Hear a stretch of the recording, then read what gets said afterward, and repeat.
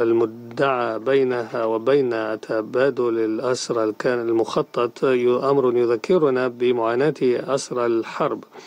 وإننا نوصل الذين قلقين بشدة بشأن علاج الحرب والتعامل معهم. ومنذ شباط فبراير 2022 قابلت الأمم المتحدة أكثر من 280 أسير حرب أوكراني عادوا من من روسيا.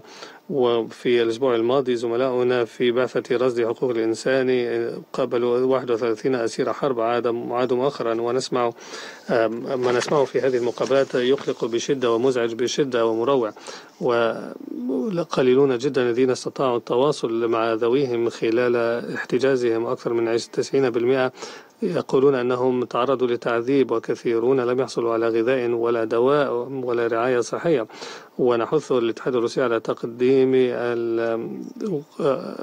إتاحة إمكانية الوصول للمفتشين الدوليين المستقلين والوصول إلى أصل الحرب. والأطراف ينبغي أن توفي التزاماتها بموجب اتفاقيات جنيف ونحيي أوكرانيا على التقدم المحرز في هذا الإطار. وفي شهر في مطلع هذا الشهر رحبنا بالتبادل لأصل الحرب بين أوكرانيا والاتحاد الروسي والظروف حدثت الأمس ومصير الأسرة لا ينبغي أن يستغل بشكل غير نزيه. وإن نحث الأطراف على مواصلة تبادل أسر الحرب والأسر على الناحيتين بحاجة إلى إعادة لم الشمل مع أحبابهم. هذه الحرب حرب تم اختيارها وتداعياتها مأساوية على الجميع ولأن نراها جميعا.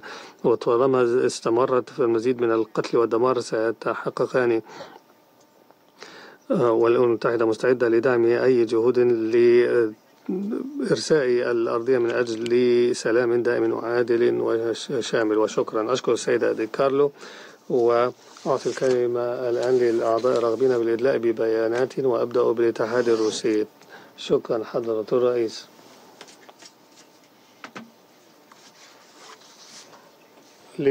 لإنهاء تبادلنا الإجرائي أقول سريعا أن العمل الذي ذكرته نظرا وعلما بأهميته الكبيرة فلا دور له في مجلس الأمن ولا يدخل ضمن قواعد والمواد والمواد لم تكن إلا كمرجع حينما أشرت إليها وأنا أسف أنكم حددتم بدلا منا مدى إلحاح الجلسة التي طلبنا بعقدها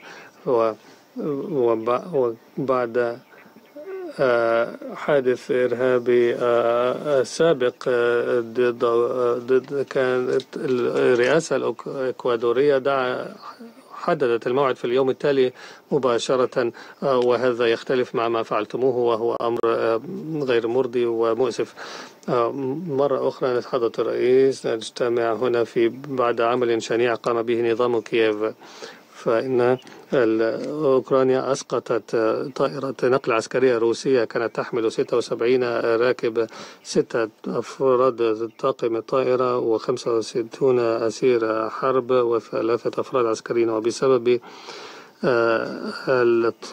الطيار الذي كان يحاول الابتعاد بالطائرة عن المناطق السكنية ولهذا لم يعاني أي مدنيين على الأرض. وهذا يظهر أننا كل الأدلة الأولية تدهل أن هذه كانت جريمة متعمدة وكانت أوكرانيا تعلم برحلة الطائرة حق العلم وتعرف بالتبادل الأصل الذي كان سينعقد وكان المفترض أن يكون هذا بالأمس في النصف الثاني من اليوم ولم تكن هذه العملية الأولى من نوعها. ولكن هذا النظام في كييف لسبب غير معروف قرر أن يخرب عملية التبادل بوحشية كبيرة.